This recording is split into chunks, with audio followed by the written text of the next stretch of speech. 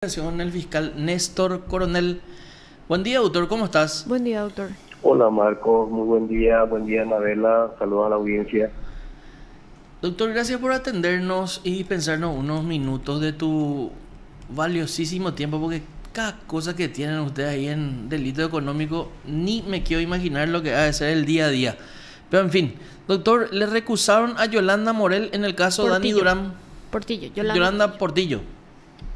A la, sí, a la magistrada Yolanda Portillo en el caso de Dani Durán.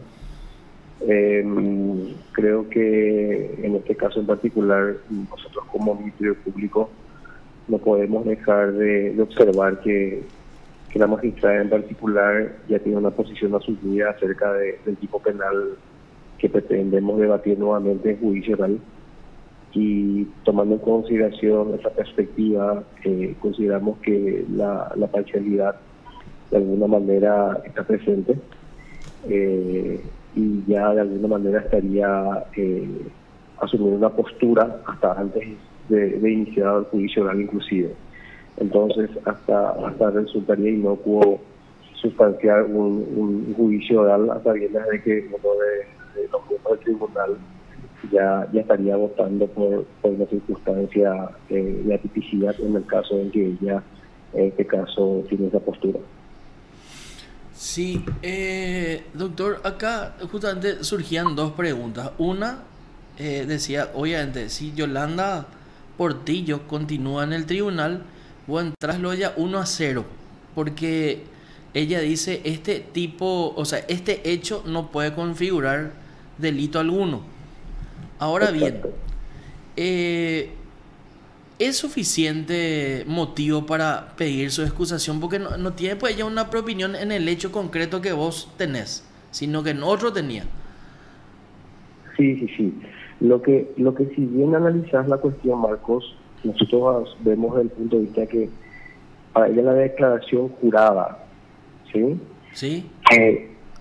la Contraloría General de la República obtiene de parte de los funcionarios públicos de por sí no trae la suficiente entidad para ser considerada subsumible dentro de esa conducta que nosotros acusamos.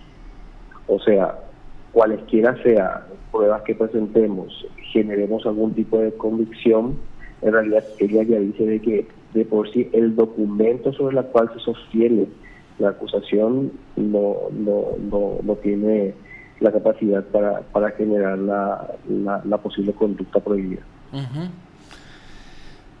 Ok, se entiende. ¿Y, y, qué cámara es la que tiene que resolver, doctor?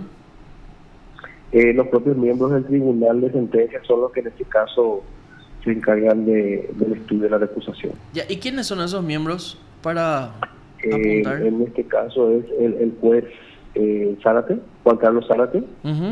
Sí, ah, y la doctora, mm, a ver, que estoy olvidando su nombre.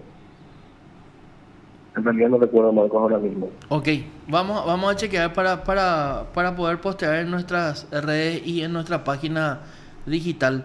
Doctor, muchísimas gracias por la comunicación.